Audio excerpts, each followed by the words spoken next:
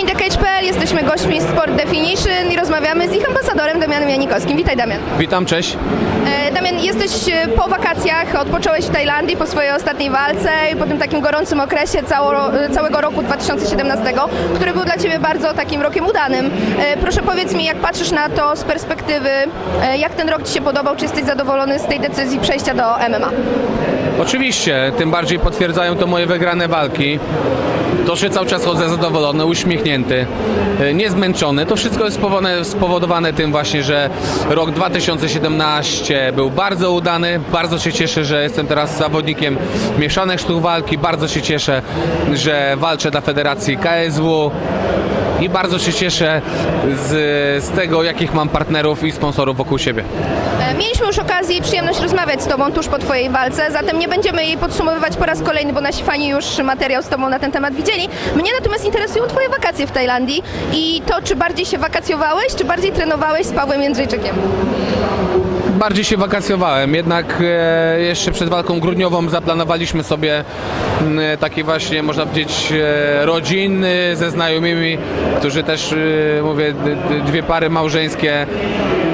No dobra, ze znajomymi zaplanowaliśmy sobie wakacje e, i mieliśmy tam 100% odpoczywać. Zresztą Paweł na początku miał plan przygotowywać się m, e, do walki, ale jednak tam jakieś jego problemy zdrowotne zaburzyły mu w tym. Stwierdził, że odpocznie 100% razem ze mną. Ja też po walce, przepraszam, miałem odpoczywać.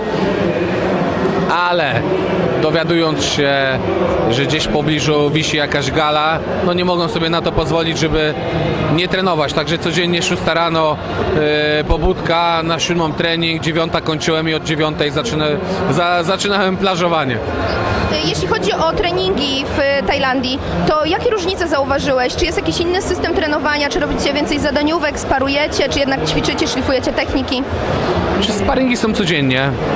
Worek jest codziennie i tarcza jest codziennie. No generalnie większość treningów tutaj u nas w Polsce się pokrywa, bo też wiele osób e, przywiozło w ogóle jakieś tam e, standardy treningowe właśnie z treningów e, tych, których się robi w Tajlandii. No co, tam pokopałem, pouderzałem worek, trochę posparowałem, na pewno trochę tlenu złapałem, makaronu się najadłem, ryżu to też tam skoczyło ze 2-3 kilo do góry, opiłem się tej wody kokosowej, no tak to w porządku wszystko. E, Wiemy, że będziesz jedną z gwiazd, najważ- najważniejszych gwiazd gali KSW 43 we Wrocławiu. Ogłoszenie e, oficjalne poszło w eter e, niedawno całkiem. Widzimy Twoją twarz na rozkładówce KSW bardzo wysoko. Wychodzi na to, że będziesz walczył w walce wieczoru? To już jest informacja pewna, niepewna? Nie mam pojęcia, ale myślę, że nie, ponieważ e, walki wieczoru muszą być walki mistrzowskie mm, o pas. A już wiemy, e, na pewno będzie miał e, Andryszczak walkę o pas i na pewno będzie miał Soldic e, z Duplikusem, czy jak mu tam.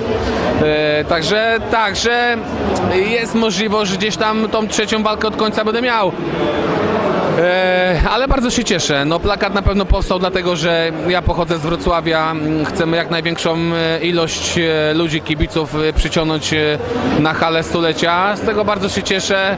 No i mówię, to jest dla mnie zaszczyt, że jestem tak promowany akurat u mnie w mieście we Wrocławiu i przez Federację KSW. Okazję już też dowiedzieć się, kto jest Twoim przeciwnikiem, em, więc chciałabym Cię zapytać o to, czy już wiesz coś na temat Janika Bachatiego, czy to jest tak, że to jest dla Ciebie zupełnie obca postać i będziesz dopiero teraz zbierał jakieś informacje na jego temat? Zdążyłem go gdzieś tam przebadać na internecie. E, Jest dobrym zawodnikiem, ułożonym przede wszystkim. E, Bardzo się cieszę, że jest duży, wyższy, będzie miał problemy na pewno z cięciem wagi i to będzie tylko na, na mój plus. Także będę mógł, będę mógł na nim, nad nim się pastwić. Mam nadzieję, że tak będzie. Oczywiście ja też nie chcę świrować i mówić jak będzie, bo to zawsze może się w drugą stronę mm, e, odwrócić. Wszystko zostawiam moim trenerom, którzy robią całą analizę pod tego przeciwnika i myślę, że wszystko, cały game plan będziemy układać tak, żeby bezpiecznie e, tą walkę po prostu zawalczyć, przewalczyć, no i oczywiście wygrać. No, czy przed czasem, czy nie przed czasem. Najważniejsze, żeby tą walkę wygrać, żeby wytrzymać i żeby też nie nabawić się jakichś większych kontuzji. Rozumiem, że przygotowania w WCA, w Berkut WCA Fight Team. Tak. Jakieś wyjazdy jeszcze się szykują, czy już raczej zostaniesz w Warszawie? Znaczy nie wiem, trener tam planował jakieś wyjazdy krótkie do Zakopanego, żeby trochę pochodzić po górach, e, ale z racji, no nie wiem jak dokładnie będzie, no jak sami widzicie do nas przyjeżdżają cały czas e, różni zawodnicy e, z różnych miast, klubów, także szkoda by było po prostu też stracić na tym, że my sobie wyjedziemy w góry, a ktoś po prostu nie będzie w stanie tam dojechać.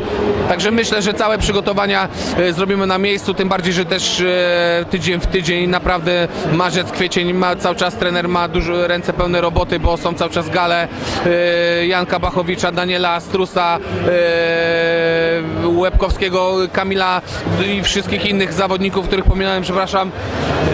E, Co chwilę ktoś walczy i, i, i, i po prostu musi trener być na miejscu i my musimy być na miejscu, żeby poma- pomagać się im przygotowywać, a później oni nam.